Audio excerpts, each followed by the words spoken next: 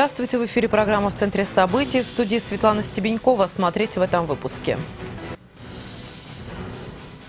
Сургутянин погиб от свиного гриппа. Карантин из-за превышения эпидемического порога продлен до 6 февраля.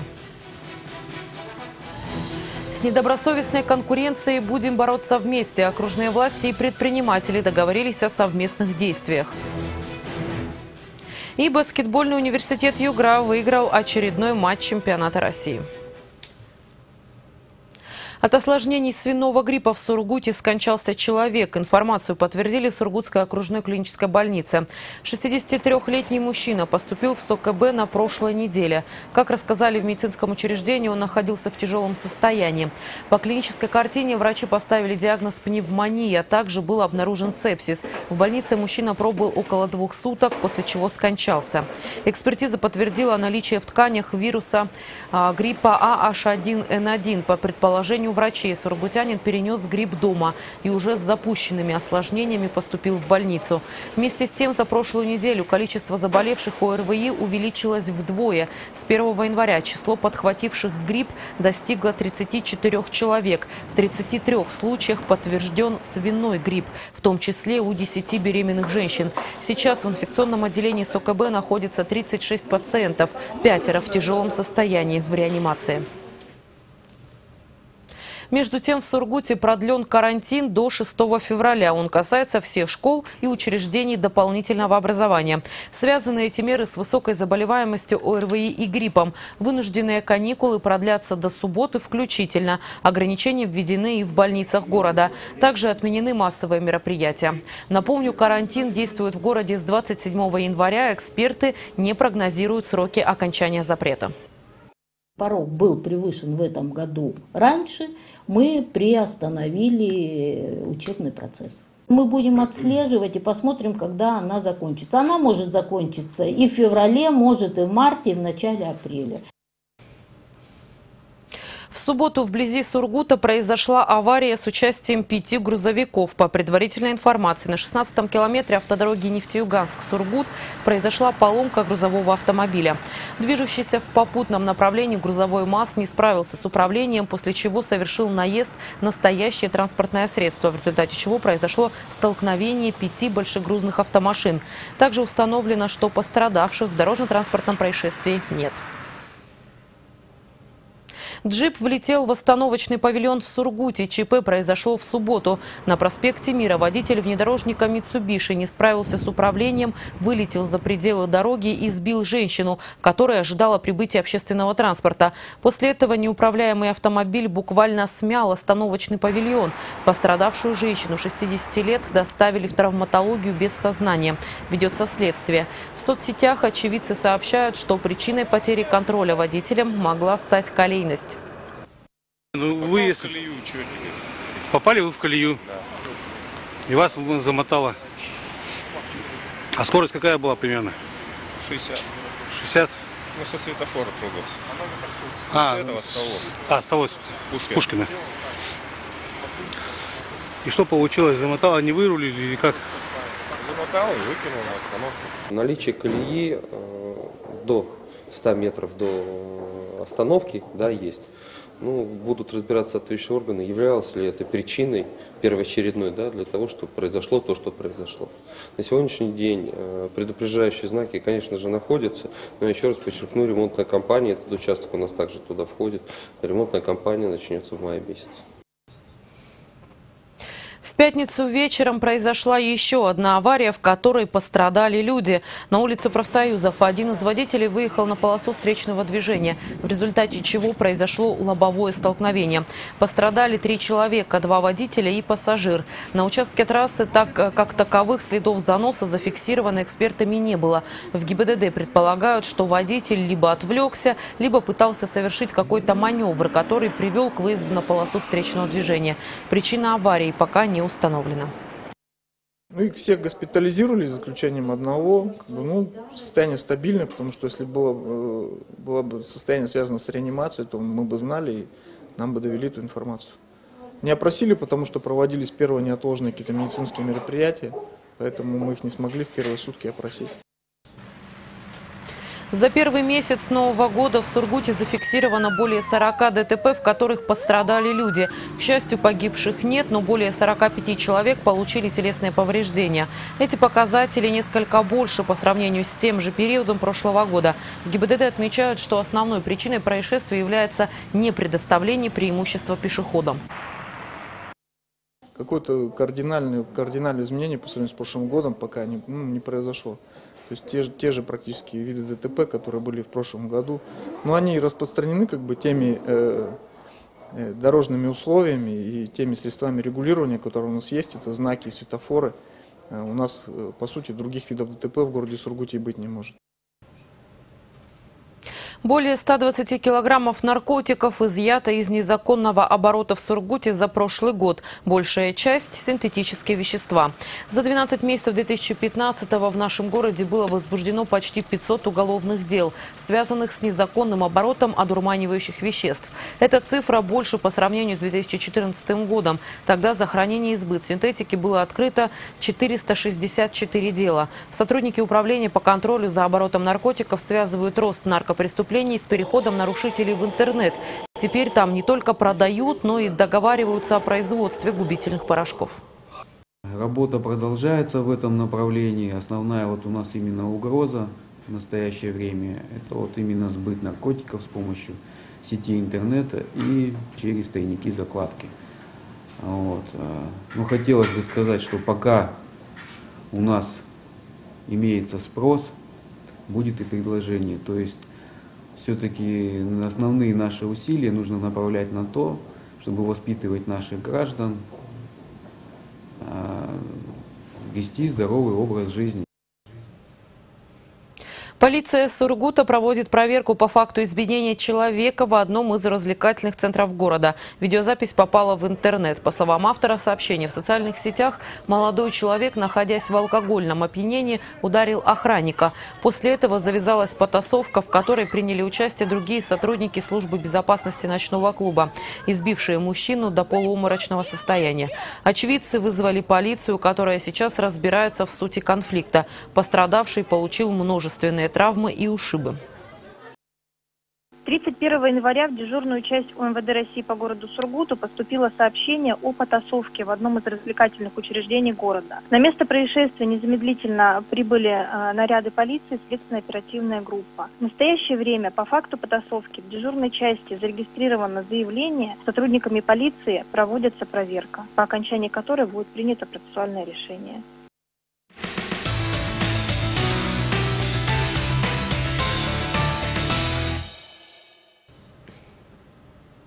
В Югре разработают новый антикризисный план и, возможно, скорректируют параметры регионального бюджета. Эти меры необходимы в связи с тем, что рыночная стоимость нефти гораздо ниже той, которую планировали ранее.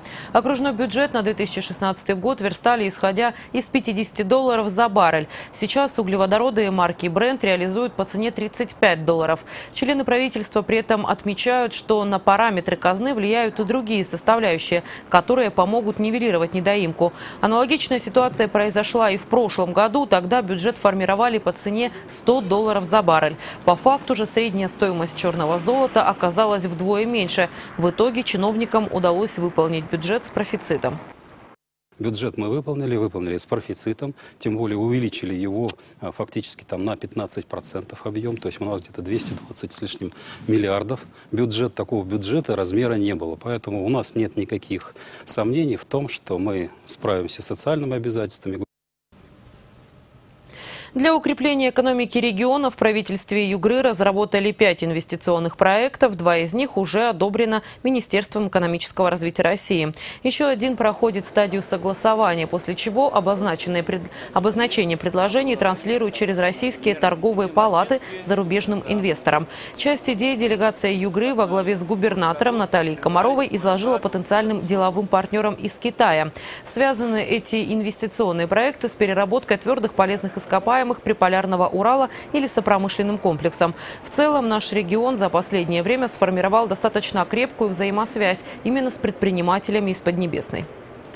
Мы э, уже в декабре прошлого года делегация Югры во главе с губернатором Натальей Владимировной посетила э, республику Китай, Китайскую Народную Республику мы провели предварительные переговоры с потенциальными инвесторами э, в целях э, позиционирования инвестиционных возможностей автономного округа. И э, где, примерно в июле-августе текущего года планируется ответный визит китайских э, предпринимателей э, в автономный округ. Помимо крупных инвесторов, не меньше пользы приносят экономике региона и представители малого и среднего бизнеса. Для постоянного развития этого сегмента в Югре действует специальный совет, на очередном заседании которого побывал Дмитрий Подлесной. Реальные инструменты развития можно выработать только с помощью откровенного диалога. По такому принципу функционирует окружной совет по развитию малого и среднего бизнеса. Очередное заседание прошло в Сургуте. На круглый стол с губернатором Югры Натальей Комаровой и членами правительства вышли самые активные бизнесмены. Сургутские предприниматели обозначили свою позицию. Они готовы вести свои дела даже в нынешних условиях дорогих кредитных средств и низкого потребительского спроса. Однако есть и субъективные факторы, которые мешают бизнесменам. Нам бы хотелось, чтобы государство со своей стороны приложило усилия к борьбе с недобросовестной конкуренцией. В части чего? В части, мы уже озвучили неоднократно проблематику, в части того, что у нас УВД расписывается в невозможности побороться с нелегальным оборотом, нелицензионным оборотом алкоголя, что у нас квартира на сутки налоговая никак не может э, побороть. Создали межведомственные группы, результат близится к нулю с такси нелегальными, разрабатывали положение, утвердили, и получается, что все сообщество делится на добросовестных, которые исполняют все требования законодательства, и тех, кто, собственно говоря, этим нивелирует, но тем не менее создает такое негативное конкурентное давление. Недобросовестная конкуренция – это, безусловно, негативный фактор, который не только мешает местным предпринимателям, но и отпугивает потенциальных инвесторов. Наталья Комарова заинтересовалась обозначенной проблематикой и даже нашла площадку для обсуждения, в рамках которой можно будет сформировать инструменты противодействия теневому бизнесу. Вопросы нелегальных таксистов и незаконного оборота алкоголя поднимут на Совете по обеспечению правопорядка. Предложить коллегам э, рассмотреть этот вопрос комплексно, когда мы его подготовим.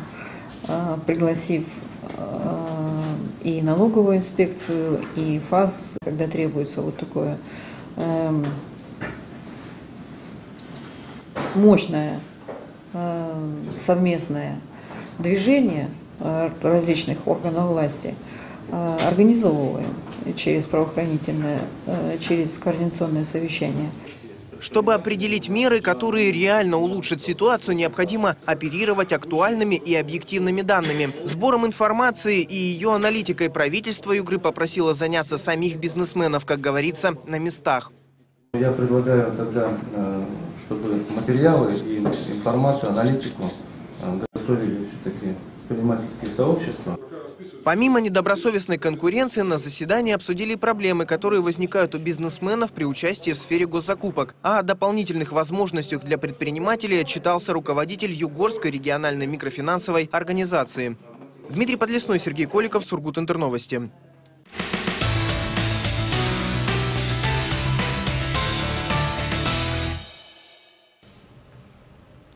Сделки в сфере недвижимости с этого года необходимо нотариально заверять. Соответствующие изменения вступили в силу с января 2016 года. Договоры продажи доли в квартире постороннему лицу, отчуждение имущества от имени несовершеннолетнего или недееспособного гражданина и соглашение о разделе общего имущества супругов. Для этих сделок нотариус выступит дополнительным гарантом. Также под законодательные нововведения попадают сделки по продаже доли земель, земли сельскохозяйственного назначения. Таких в нашем округе нет. Напомню, что раньше можно было обойтись без нотариата, просто оформив договор купли-продажи и перерегистрировать имущество на нового хозяина. Нотариус при удостоверении сделки, с любой, любой сделки проводит правовую экспертизу этой сделки, проверяет ее законность, право этих лиц на заключение этой сделки – Проверяет наличие согласия, если таковые требуются в соответствии с Означает, то есть нотариальное удостоверение сделки означает проверку законности сделки, в том числе, в том числе наличие у каждой из сторон права на ее совершение – Преодолен третий этап Всероссийской Олимпиады школьников по биологии. Призеры и победители муниципального уровня практически со всего округа собрались в Институте естественных и технических наук Сургутского государственного университета. В связи с эпидемией гриппа и ОРВИ перед началом испытаний проверяли состояние здоровья каждого участника. Без малого 100 старшеклассников продемонстрировали свои знания по этому предмету. Задания были разделены на два тура – теория и практика. Вчера прошел у нас первый тур теоретический, в котором показали хорошие результаты наши ребята. Но, как правило, теоретический тур всегда очень простой, а, значит, потому что он не требует а, навыков работы с лабораторным оборудованием. А, сегодня начался второй этап, это практический, который очень интересен, потому что там нужно что-то сделать своими руками, объяснить, как что происходит вот, с точки зрения биологии. В Сургуте прошел митинг, посвященный 97-й годовщине со дня создания в нашем городе Всесоюзного Ленинского коммунистического союза молодежи. Он появился в 1919 году, через три месяца после образования этого органа в Советском Союзе. ВЛКСМ считался политической молодежной организацией и просуществовал почти 73 года. 28 сентября 1991 года была организация распущена решением Чрезвычайного съезда ВЛКСМ. Я считаю, что наша сегодняшняя в какой-то степени лучше, чем мы. Они более продвинутые, более современные, значит. Вот. И когда некоторые старшие товарищи говорят, что вот молодежь пошла, а я говорю, откуда тогда берутся такие хорошие взрослые?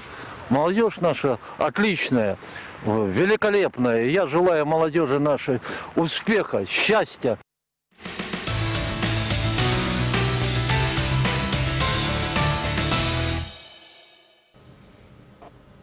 Баскетбольный клуб «Университет Югра» провел очередную встречу в рамках чемпионата Российской Суперлиги. Сургутяне на своей площадке принимали «Иркут». Гости, один из аутсайдеров турнира, буквально перед этим туром в составе сибиряков произошли кадровые перестановки. «Иркут» потерял двух ключевых защитников, но приобрел одного центрового. Спортсмены из Восточной Сибири смогли оказать достойное сопротивление более опытным студентам. Лишь к концу первой половины матча подопечным Сергея Ольхова удалось создать себе более более-менее комфортный задел в 9 очков. 38-29 после 20 минут игры. Позиции больших усилила. Ушел Анисимов, ушел Громыко, игроки периметра. Там ослабли, конечно. Надо улучшать игру ее. Ну, будем стараться. Сейчас, сейчас две домашних игры. И, думаю, надо постараться выиграть. Во второй половине матча университет нарастил свое преимущество до 12 очков и удерживал его до финальной сирены. Итог встречи 70-58. Тем не менее, на протяжении всей игры с Иркутом, по мнению тренерского штаба сургутян и зрителей, арбитрами принимались весьма странные решения. Объяснение этому баскетбольные судьи играют на тотализаторе. Таким образом, они заинтересованы в том, чтобы команда, на которую коэффициент выше, обыгрывала более сильного соперника. О ситуации университет намерен сообщить в Российскую Федерацию баскетбола. Мы выиграли игру. Сколько? 12 очков, да? 12 очков. А проиграли подборы 46, 16, у нас 27-5. Это о чем говорит? Значит, мы играли лучше, что если мы выиграли игру. Нам просто не давали играть. Понимаете, вот это что творится сейчас в российском баскетболе, это, ну, знаете, да, проставьте про все эти дела. Арбитры ставят судьи на команды, поэтому вот такая ситуация. Сейчас в этом разбираться Кириленко будет. Я не удивлюсь, что это, если на мужчин ставят, на женщин, там, на детей, поэтому Волейбольный клуб «Газпром Югра» одержал пятую победу подряд в чемпионате России. Сургутяне на выезде обыграли кемеровский Кузбасс. Матч сложился крайне непросто. Кемеровчане лидировали по ходу всей встречи, ведя по партиям 1-0 и 2-1. В итоге победитель определился по итогам укороченной пятой партии. При этом в ее концовке газовики проигрывали 11-14, но сумели не только отыграться, но и взять верх в этом сете и во всей игре. 30 очков очков на счету Константина Бакуна команда после этой победы поднялась на четвертое место в турнирной таблице. Следующий матч «Газпром» проведет в среду. На своем поле сургутяне примут Краснодарское «Динамо». На этом у меня все. Благодарю за внимание. До встречи.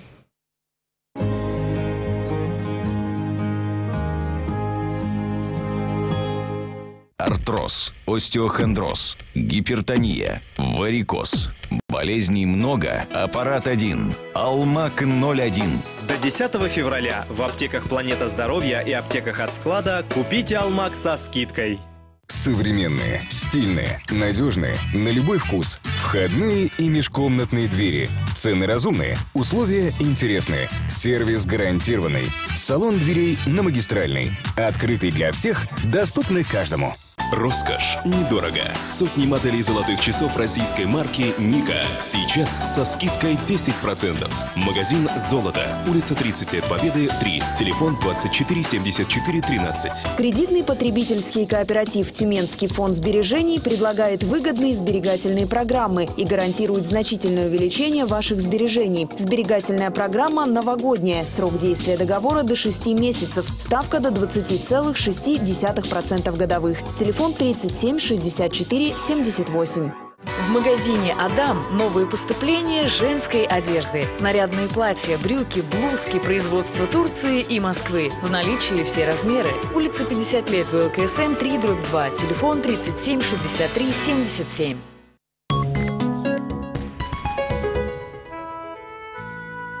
И о погоде на 2 февраля. Здравствуйте, в студии Алина Белявская. Генеральный партнер прогноза погоды – компания «Сипромстрой Югория».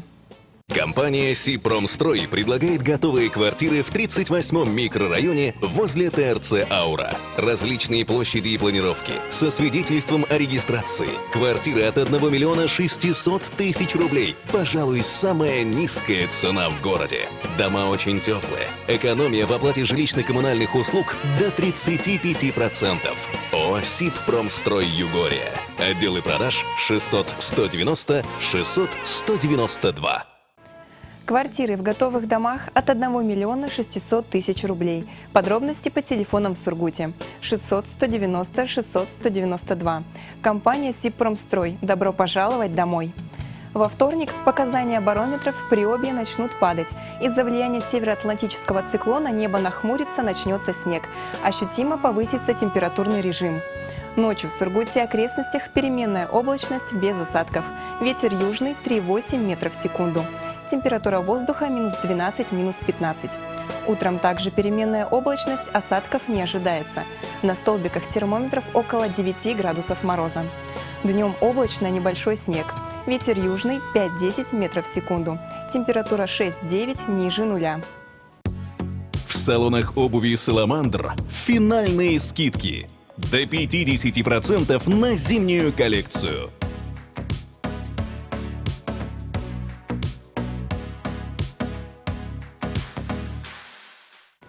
Саламандр – это стиль, качество, чувство уверенности. Успейте купить в салонах обуви Саламандр коллекцию весна-лето по ценам 2015 года. В течение дня солнечная активность умеренная, геомагнитное поле неустойчивое. Атмосферное давление будет падать и составит 762 мм ртутного столба. Антикризисные цены в Карапузе. Комод, кроватка, комплект белья по супер низким ценам. Покупайте по отдельности или все вместе. Всего за 9997 рублей. Всегда радостные покупки для детей в магазинах «Карапуз». Достойное качество по выгодным ценам. Я желаю вам удачи, будьте здоровы, до свидания.